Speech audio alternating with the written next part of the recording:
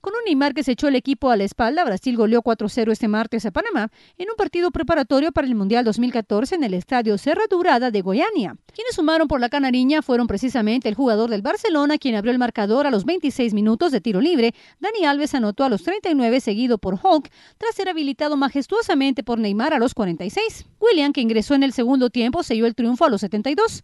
En otro amistoso, las selecciones de Grecia y Nigeria empataron a cero en Filadelfia. Grecia venía de otro empate a cero el sábado ante Portugal en la ciudad de Lisboa. Suiza superó 2 a 0 a Perú en un partido que se mantuvo igualado hasta el último cuarto de hora, cuando la selección helvética logró sus dos goles. El primero anotado de cabeza por el defensa de la Juventus, Stefan Lichtsteiner, al minuto 78, y el segundo marcado por la estrella de la Nati, Sherdan Shakiri, en jugada personal al minuto 84.